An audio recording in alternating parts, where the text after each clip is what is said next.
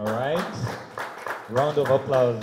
Thank you so much. When you break a world record that has been there for 16 years, uh, it is quite a unique performance. Uh, I know medals in Olympic Games and others, maybe they, they get a bit more visibility and they, they are a bit more exciting, but in, in sports and in athletics in particular, it's also a race against yourself, a race against time.